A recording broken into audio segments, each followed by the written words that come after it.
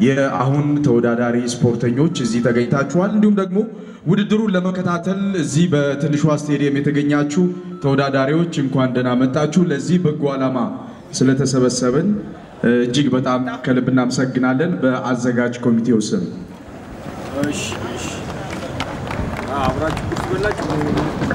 አይ ችግር የለም። አይ ችግር የለም። አይ አልበላም።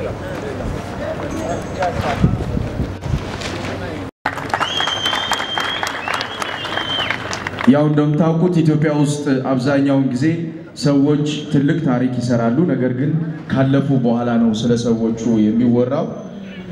በቦክስ ደግሞ ኢትዮጵያ እጅግ በጣም ስኬታማ የሚባሉ ስፖርተኞችን አውጥታለች።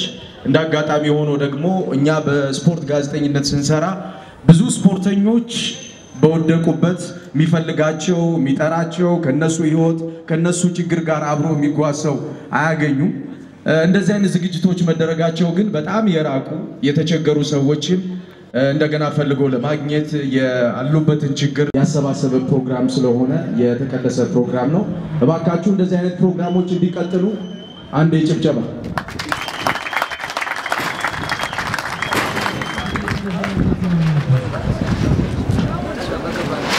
በዛሬው ፕሮግራም የተገኙ በርካታ እውቅ ስፖርተኞች እንዲሁም ኢትዮጵያን በትልቅ መድረክ የወከሉ ተወዳዳሪዎች ይገኛሉ። ከእነዚህ መካከል ሐሰን ሸሪፍ፣ ባልቻ ደገፉ፣ ተፈራ ተክሌ፣ ታደሰ ይልማ፣ ጸጋ ስላሴ አረጋዊ ወይም ደግሞ በቅጽል ስሙ ኮረኮንች፣ ጌትነት ተክሌ፣ ፍቃዱ አበበ፣ አብዱራህማን ናስር፣ መክብብ ከማል፣ ዳንኤል ታደለና ፍቃዱ በዙ በዚህ ፕሮግራም ላይ የተገኙ ነባር ቦክሰኞች፣ ቦክስ ወዳጆች፣ አሁንም ቢሆን ከቦክስ ስፖርት ጋር አብረው እየሄዱ ያሉ ቤተሰቦች እዚህ መድረክ ላይ ስለሚገኙ ተዋወቋቸው እባካችሁ።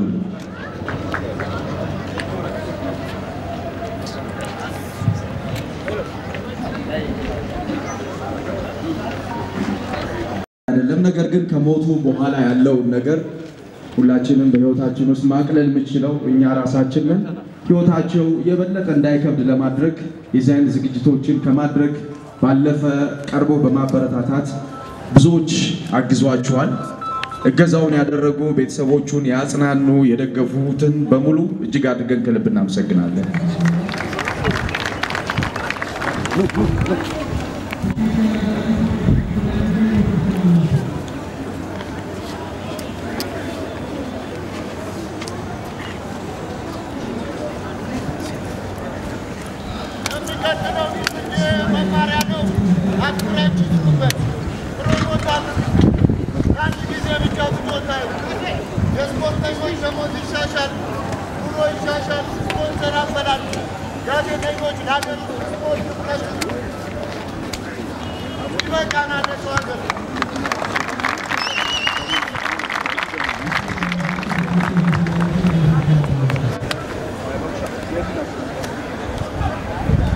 አሁን እንግዲህ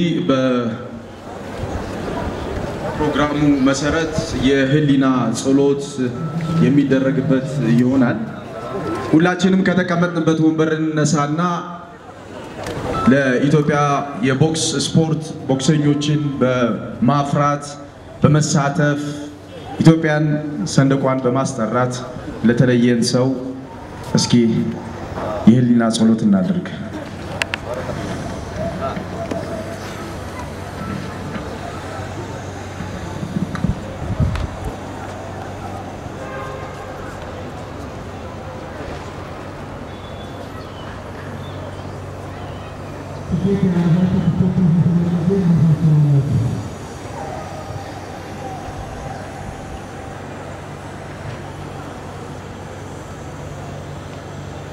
ስላስታወሳችሁና ስላሰባችሁት እጅግ አድርገን ከልብ እናመሰግናለን።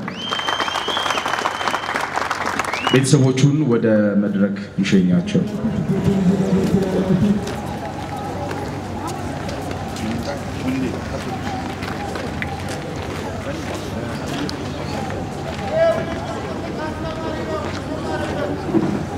ቦክሰኞች ወደ መቀመጫ ቦታችሁ ተመለሱ። እጅግ አድርገን ከልብ እናመሰግናለን።